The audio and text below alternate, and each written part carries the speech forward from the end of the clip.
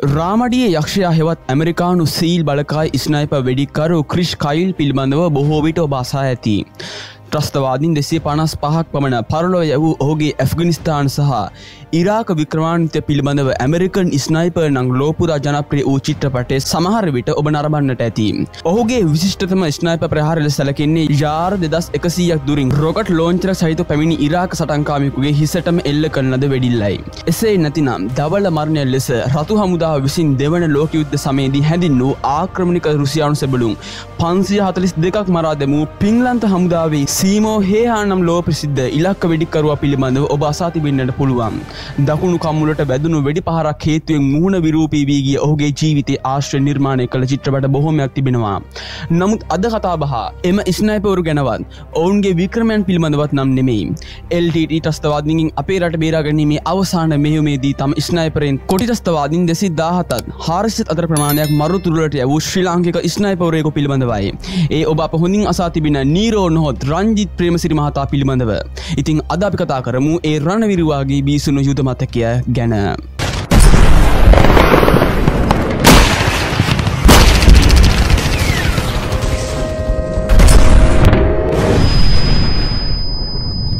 මේ වැඩසරාන අපි මුලින්ම හඳුනා ගමු කවුද ඇත්තටම නීරෝ කියන්න කියලා. ඔබ කවුරුත් දන්න රණවිරු නීරෝගේ සම්පූර්ණ නාමය වික්‍රමසිංහ හිටි හාමිලාගේ රංජිත් ප්‍රේමසිරි. රට රකින්නට හිත ඇති ආසාාව කාලෙම පටම්ම රංජිත් අම්මා තාත්ත සමඟ කතාකොට තිබුණා. ඒත් ඊට මහලොකු අනුබලයක්වත් හරස් කිරීමක්ව පියා වූ ජයිසූරී සහ මව වූ ඇන්ග ශ්‍රීටාගින්ද බලපෑමක් ඇතිවී නැහැ.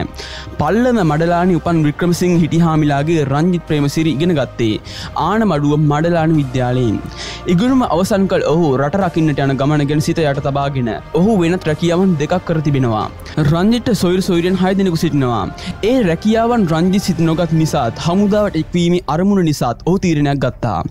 LDT ටස්ත ගැටුම් ඉතා උග්‍ර කාලසීමක්කු එද නම්ස අනුවක වර්ෂයේ පෙබරවාර් මස දොළොස් වනිදා ජීවිතයේ දිසි දෙවනි වේදී රංජි චුද හමුදාවේ ස්වච්චා බලසේනාවට බැඳුනා. අනතුරුව දියතලාබ ජුද හමුදා පූුණු පාසල වෙතින් මූලික පුහුණුවල් ලබා ගජබා රජමේන්තුවේ පස්සන බලයනයට අනයුක්ත වුණා. ඔහු කැමති රැකියාව තෝරාග ප්‍රංජිත්ත තමන් කැමති ඉරනම්කාරි ඒවනිට හමුවී තිබුණා. ඇය පල්ලම කළු කැලේ තරුණයක් වූ නිලූකා ප්‍රියංගනී. ඒ අනු එද නම්ස අනු හතර වර්ෂයේදී ඔවුන්ගේ විභාවේ සිදුවනා. රංජිත් ප්‍රේමසිරි මහතා රැකියාවට ආදරය කලා සේම බිරිඳ ගැනද ඒ ආ සමානු නිරන්තරෝම සිතුවා. ඇයට කුළුදුල් පුතු ඉපදෙන්න්නට සිටියද්දී රංජිත්ගේ හැම සිතුල්ලක් වූයේ ඉප දෙන්නට සිටි දරවා ගැනයි. කෝමාරි රංජිට්ටසා නිලුකට දව පුතුන් දෙදෙනෙ කුපත ලැබවා. රංජිත් වර යුදබිමට යාමට පෙර මෙහම පවසා තිබෙනවා. ඔයාට තනියට පුතාල දෙන්නෙක් පින්නවා නිවාඩුවාවිට රංජි පුතාල හුරතල් කරමින් නිලුකාට කිවේ ගොඩක්ම සතුටින්. හමුදා සේවට බැඳුනාට එතනින් තවත් ඉහලට යන්න නිරන්තරවම රංජි සිතුවා. රට වෙනුවෙන් ඉහළම සේවයක් කරන්න පුළුවන් තැනකට මට යන්න ඕනේ. නිවාඩුවට ගෙදරෙන රංජිත් බිරිඳ සමඟ සිත ඇතිදේ බොහෝවිට කතා කොට තිබුණා. එවිට ප්‍රියංගනීද හුදිරිමත් කොට ඇත. ඒ කොත්තරම් රට මෙම රැකියාවටද ආදරි කරන්නේද කිය අය දන්නා බැවින්. යුදබේමේදී දැක්වූ දස්කම් හේතුවෙන් රංජිට විධ පාටමාලා රැසක් සම්පූර්ණ කිරීමට හැකියාව ලැබෙන අතර. යුදබීමේ සියල්ම සුදුසුකන් සපුරා තිබුණු බැවින්. රංජි දියතලාව ප්‍රගුණ වෙඩික්කරු පූුණු පාසලට ඇතුළත්ව පාටමාල අංකාට සාර්ථක හදාරා දෙදා වසරේදි සැඟුණු වෙඩිකරුවෙකු හෙවත් ඉස්නයිප සෙබලෙක් ලෙස සටම් බිමට එකතු වන්නේ නීරෝ යන්න කෙටි සංඥානාමීම්.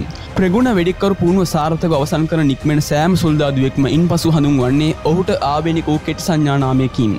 එතැන් පටන් නීරෝල් සැඳිං වූ රංජි තම වෘතිීට අදාළ විශේෂ බලකාය ට්‍රෆලිං ප්‍රගුණ වෙඩික්කර උපදේශක මූලික පැරිෂුට් ඒකක වෙඩික්කරුවන් පූර්ණ කරවීමේ පාටමාලාව සහ මූනික පිස්තෝල පාටමාලාවද වරින්වර සාර්ථකව හදාරා නිම කර තිබුණා. මේ තමා තියන්නේ සූසයි ජකට් එක මේ සූසයි ජකට් එක ඇඳගෙන අපේ අපේ අපේ ලය මේ අප ඉදිරියට ගමන් කරනකොට අප විනාශ කරීමට එනකොට තම ඔන්න ඉතින් මේ අතරවාරයේදී ප්‍රියංගනයට දිනූපමා රසාංගි දුව ලැබෙන්නේ මේ අවදියේ. දැන් මේ වෙනකොට රංචිට් එක දුවයි පුතාල දෙන්නයි. රංජිත් පවසනාකාරයට දහයි දුව ලැබෙන ආරංචි තමන්ට මේ ලෝකයේ දැනුණු ඉහළම සතුටයි. මහවනේ කොටි රස්තවාදින් ඉලක් ලෙස හඹා යමින් යුදබීම තුළ රාජකාරි කළ රංජිත් නිවාඩුවක් ලද නිමේශයෙන්ම තම දීනිය බැලීමට ගොස් ඇත. ඉතින් මේ වැඩසනානේ මේ වෙනකොට ස්නයිප නීරෝග පවල් ජීවිතය ඔහු යුදහමුදවඩෙක්ුණේ කොහොමද මේ සීල්ම දෙවල් ම කතා කරා. ඉතින් අපි දැන් කතා කරමු නීරෝගේ යුද බිමේ යුද හමුදා ක්‍රියාන්විත ගැන. වසරින් වසර ගෙවීගිය පළුවනි දෙවැනි තුන්වැනි ඊලාම් යුද්ධ කල්මැරමින් සිව්වන ඊලාම් යුද්ධ ඇරමුණා. මේ වන විට දිය තලාව ප්‍රගුණ වැඩික්කරපුූන් පාසලට අඩත්ව සටන්බිමේ ක්‍රියාන්විත ප්‍රදේශයන්හි රාජකාරි කළ රංජිත් මඩු මන්නාරම පරන්තන් පුනරීන් කිල්නොච්චිය අලිමංකඩ මුළතු උසා පුදුකුඩිරිප්පු ක්‍රියාන්විතයන් සඳහා රංජිත් නොහොත් ඉස්නැප නීරෝගින් උපරිම සේවාවක් ලැබුණා. නීරෝ මේ වෙනකොට සැගෝනු වෙඩික්කරුවෙකු වී වසර නමයෙක් අත්දකීම් සමඟ යුද හමුදාවේ දහට වසරක අත්දකීම් ඇති කාර්ශූර දක්ෂ සබලකුව සිටියා. අතලොස්සක් පමණ වූ සැගෝනු වෙඩික්කරුවන් අතරින් රංජිත් දිදිරීම් සිටියයෙක් විය. සැගෝනු වෙඩික්කරුගේ වගකීම දුරසිට ඉලක්කෙ ලබාගන්න සේම එය හැම රාජකාරිකදීම මැනවින් කරන්නටද ඔහු දක්ෂ වුණා. වරක පුදුකුඩි රිප ප්‍රදේශයේ රාජකාරය කරමින් සිටි රංජිත් ගසක් මත සිට අවට ප්‍රදේශ නිරීක්ෂණය කිරීමේදී හොඳ ඉලක්කයක් දුටවා. ඒ බැකෝ යන්ත්‍ර දෙකක් මගින් පස් බැම්මක් ඉදිරි කරමින් සිටි කොටිචස්තවාදිංය. ඔහු මස්තාව කාලතුවක්කු ආධාරද ඇතිව බැකෝ යන්ත්‍ර දෙකත් ඒවා මෙහිෝ කොටින්ද මුලිමනින්ම විනාශ කර දමන්නට සමත් වනා. වන්නේ මෙහිම ආරම්භවීමත් සමගම ප්‍රගුණ වෙඩිකරුවන්ගේ බලකායි දක්ෂතා ක්‍රමයෙන් කරලියට ආවා. අවසන් LDD යුද්ධ හෙවත් හතරවන ඊලාම් යුද්ධේදී කොටිටස්තවාදින් දෙදහකට අධික පිරිසක් මෙම සැඟවුණු ස්නයිප උන්ඩියට ගොදුරු කර ගැනීමට ස්නයිප සොල්දාදුවන්ට හැකියාව ලැබෙනවා. නීරෝ කැමා ලාරා මරර් පික්මි සහ සුන් යන නම්බලින් මේ විශේෂ්ට ස්නයිපකරුවන් ලංකා පුරා ප්‍රසිද්ධ වන්නට පටන්ගත්තා. ප්‍රභාකරන්ගේ හොඳම ස්නයිප වැඩෙක්කරුවන් සඳහට නිහන කරන්නට මේ පිරිසට හැකියාව ලැබුණා.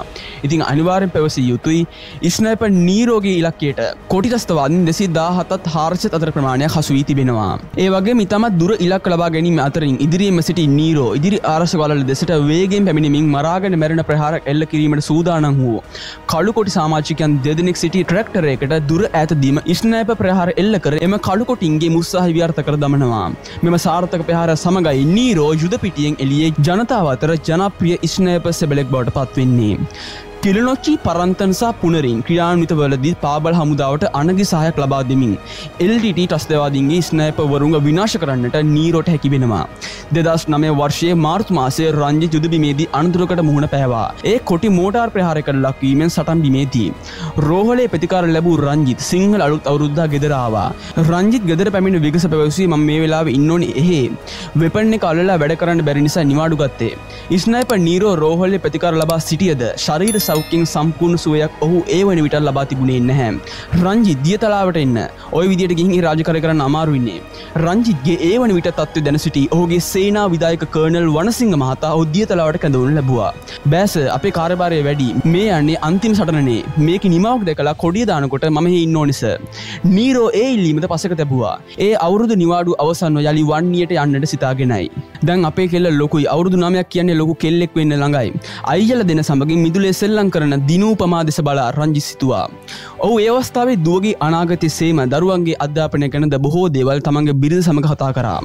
රංජි නිතර පවසත් තිබුණේ දරුවන්ට හොඳට උගන්වන්න මොන රස්සාාව කරත් අපි ඒ අයට හොඳට උගන්නලා තිීන්න ඕනිනේ කියන කාරණය. රංජිත්ගේ නිවාඩු අවසන් වී දෙදස් නාමේ අප්‍රේල් විසියෙක් වෙනිදා. රංජි සිතා සිටිය සේම වන්නට යන්නට සූදානන් වුණා. මේ වැඩසරාන කරගෙන යනකොට මේ ස්නෑප නීරෝගේ ජීවිතය ගොඩක්ම වැදගත් අවස්ථාවක් ගැන තමයි දැමම කියන්න හදන්නේ. රංජිත් හැමදාමත් නිවාඩු අවසන්න නිවසින් පිටත් වන විට රංජිත්ගේ දෙපතුල් අතගත් දෙවියම් බුදුන්ගේ ආරශ්ාවිල්ලන ප්‍රියංගනීට එදා පමණක්ේ පුරුද්ධ අමතක වුණා. රංජිත් එදා නිවසින් ගිය දිනේදී. ප්‍රියංගනීට අසනිප වී ඇත. ඉතිංවා මට වැන්දි නෑනේ ඒකයි අසනිපුුණේ නැවත යුදබිමට යන්නට පෙර කතා කළ රංජිත් ඇයට විහිලු කරා. යුදබිමේ රාජකාරී කොතරම් බාරදුර වුවද දින දෙකට වරක් නැත්නම් සතියකට වර ඔහු ගෙදරට අනිවාරයම කතා කොට තිබෙනවා. දෙදස් නම අප්‍රල් විසිහත්වන දින පෙරවරු එකොළහ තියට පමණ ඔහු බිරිඳට කතා කරා. ඒ වන විට ඔහු සිටිය පුදුමාතලම් ප්‍රදේශයේ. ඒ වෙනකොටත් රංජිත්ගේ බිරිඳට සනීපන් නැහැ. එම කතාව අතරතුර රංජිත්ගේ බිරිඳ ම පරිස්සං වෙන්නම් ඔයා ඊට වඩා පරිස්සං වෙන්න හැමදාමත් වගේ ඒ වචනටික ප්‍රියංගනී කීවේ ඒ වන විට යුදබිමේ තත්වය ගැනද රංජිත්ගේ රජකාරය ගැනද නිසි අවබෝධයකින් ඇය සිටි නිසා. ඔයා බයවෙන්න පාලමයෝ රංජිත් හැමදාම කියන්නේ එයයි. සෑම විටම අනතුර පෙනෙන මාන්‍ය සිටියද නීරෝටේගෙන විශ්වාසයක් තිබුණා. ප්‍රියංගනී රංජිත්කින් ඉන්න කොහෙදයි කිය ඇසවා. මුදයින ඉන්නේ මේ හරිට සිගනල් නෑ සමහරයට කෝලක දැන් කට්වෙයි. රංජිත් කීවසේම සුළු වේලාවකින් ඇමුතුම සන්දිවී ගියා. මේ දිනොල රංජි සිටියේ පුදුමාතලම් ප්‍රදේශයේ පස් බැම්ම මුදාගත් පසු ප්‍රාණ අපකරුවන් නිදස් ලබා පැමිණෙන ඩ්‍රවිඩ ජනතාවට මුවාවී පැමිණෙන කොටි තස්තවාදින්ව ඉලක්ක කරමින් පළුමනි පස්බැම අත්පත් කරගත් වීරෝධර් හමුදාව අනතුරු අත්පත් කරගත් දෙවන පස්බැම ළඟ සිට කෝප්‍රල් රංජිත් කොටි ලක්යක් ගන්නට සූදානන්ව සිටියා. එදා දෙදස් නමේ අප්‍රේල් මස විසිට වනදා උදෑසනකයි. මිනිසුන් අතරේ එවන් ස්නයිප ඉලක්කයක් ගැනීම පහසු නොවන කටයුත්තක් වුවද රංජිත් එයට දක්ෂ වුණා. නීරෝ මේ අවස්ථාවේදී කොටිතස්තවාදයකුට ඉලක්කයක් ගන්නට හදද්දී ඕ කිසි කලෙක නොසිතූ දෙයක් තප්පරයෙන් සිදුනා.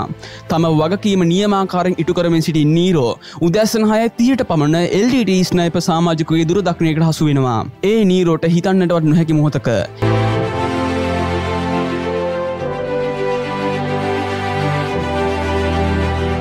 ඉන් පසුව ටස්දයාගේ ස්නෑප උන්ඩේකට හසුන නීරෝ පුදුමාතලන් පස් බැම බදාගෙන සදහටම නිහඬ වෙනවා. යුදබිමට යුද්ධයට කිසිවටකත් බිය නොවී දූදරුවන්ට හෙට දවසේ නිවාල් දේශ තනන්නට දියතලාව ප්‍රගුණ සැඟවුණු වෙඩික්කොර පූුණු පාසට යටත්ව සටම් බිමට වැද කොටින්න තරජනක් වෙමින් යුදබීමේ දස්කම් පෑ නීරෝ හෙවත් කෝප්‍රල් රංජිත් පේම්සිරි මහතා දෙදස් නාමය අප්‍රේල් මස විසිනමනද උදෑසන ජීවිතයේ හතලිස් එක්වන වියේදී රට වෙනුවෙන් දිවිපිදවා.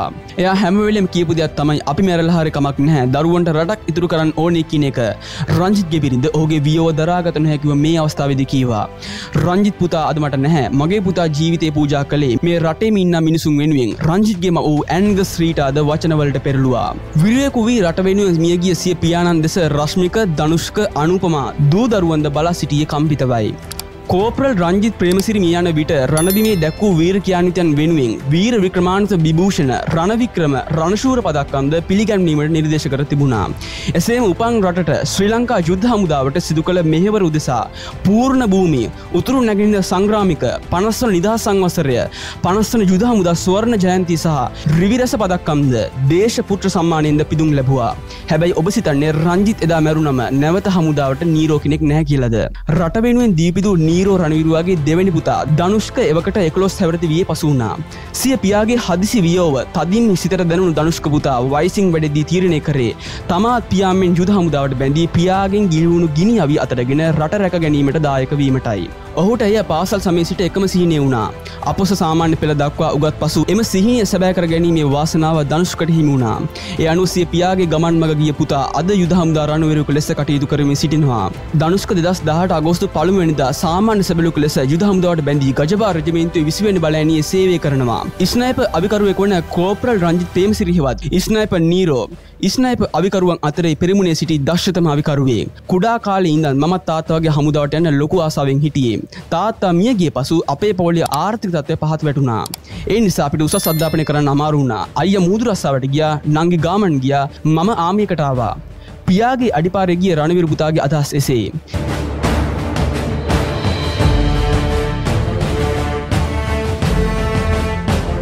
ඉතින් මේ වැඩසරට බලන සියල්ලගේ අරමුණ නීරෝගේ පුතත් අනිවාර්යම කවදහරි ශ්‍රී ලංකාවයි දක්ෂතම ස්නයිප වෙඩික්කරුවෙක් වෙන එක. ඉතින් අවසාන වශයෙන් අපි සියල්ලම ස්නයිප නීරෝට ඒමන් නැත්තං රංජිත් මහතාව කිසිද අමත කරන්න කොළ යුතුයි ඒ වගේ මොහුට නිවන් සුව පාර්ථනා කළ යුතුයි. ඒවගේ මොහගේ පුතාගේ ගමනට අප සියල්ල මාශිරාධ කළ යුතුයි. ඉතින් මම අදට මේ වැඩසටාන අවසන් කරනවා. ඉතින් මේ වගේ ශ්‍රී ලංකාවගේ මුල් ලෝකේම යුද මේ ට්‍රාසනක දෙවල් මෙම තවත් අධ්‍යාපනික වීඩස් බලන්න ඕන්නම්. දැම්ම සස්ක්‍රප කරන අපි නොදන්න ලංකා ඉතිහසේ YouTube චැනල එක. ඉතින් ඒවගේ පිළිදන්න ලංකායිතිහසේ සෝසල් මීඩියස් ෆලෝ කරන්න අමත කරන්න එපා. ඉති මේ වගේ තවත් දොස්සකින් හමුවෙන බලාපොරොත්තුවෙන් අදර සමුගන්නවා ඔබ සීලම දෙනාට ජයෙන් ජයම වේවා.